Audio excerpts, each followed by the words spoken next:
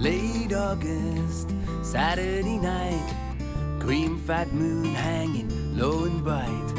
Headlights on the river, something ain't right in small town.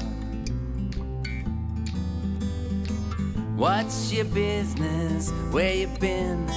Tell me what time did you come in? You're gonna need an alibi, cause there's been a murder in small town.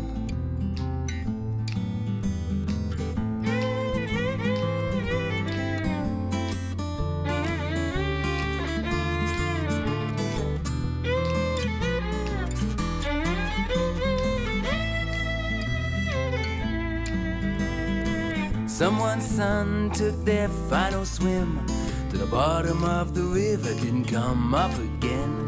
A man baiting lines hooked and dragged him in, recognized that a poor boy's face.